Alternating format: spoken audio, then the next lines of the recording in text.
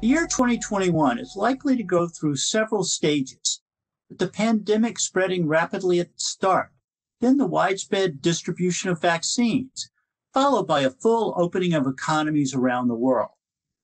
Markets, however, are forward looking, such that prices in various sectors will be anticipating what a post pandemic world will look like. Let's take a look. US rates. The fusion of fiscal and monetary policy with massive federal budget deficits and large scale purchases of treasuries and mortgage backed securities by the Fed sets up a potential scenario for rising inflation. The inflation scenario puts the back end of the Treasury yield curve in play, regardless of how long the Fed anchors the short end with zero rates.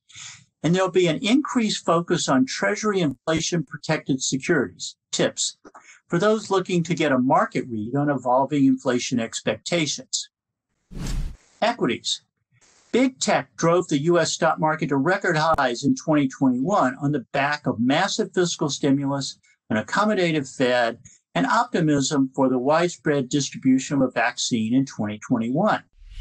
The post pandemic economy, with a change of administrations and party control in Washington, is likely to see U.S. policy initiatives that may bolster healthcare, challenge big tech, and support industrials and materials with infrastructure spending. We also note that should inflation expectations rise, small cap stocks tend to outperform large cap in these inflationary environments. FX from March 20, 2020, the US dollar lost almost 15% of its value versus the euro. And since May 27, 2020, the Chinese yuan gained almost 10%.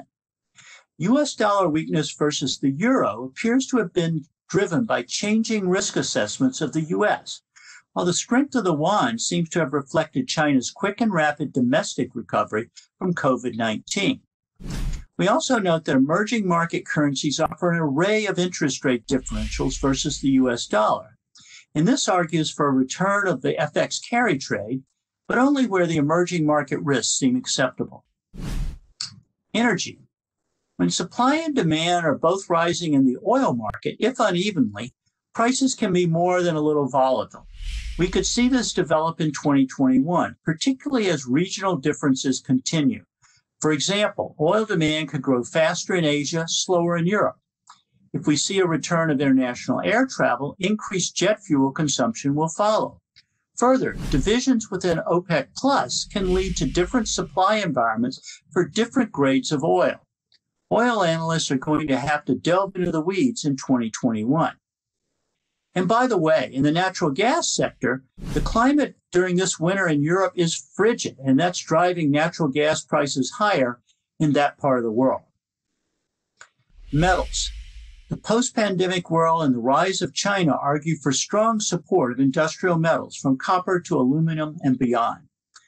Gold, on the other hand, has a competitor in Bitcoin, and this could siphon off some of gold's appeal as a portfolio diversifier as well as compete with traders trying to hedge future inflation risks.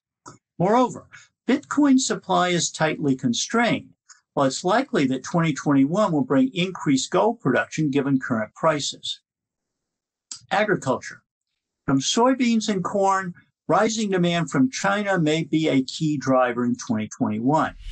Regional price action between North and South America may respond to how China allocates its purchases regional differences may well be complicated by a strong La Nina, which has the potential to diminish rainfall in Brazil and Argentina while increasing it in Australia.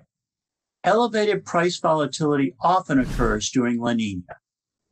What a difference a year makes. For sure, 2020 looked nothing like 2019. And 2021 is going to be a totally different story from the pandemic year of 2020. The global economy is not going back to pre pandemic norms. Instead, certain trends have been accelerated, new policies are coming, and the world order is shifting.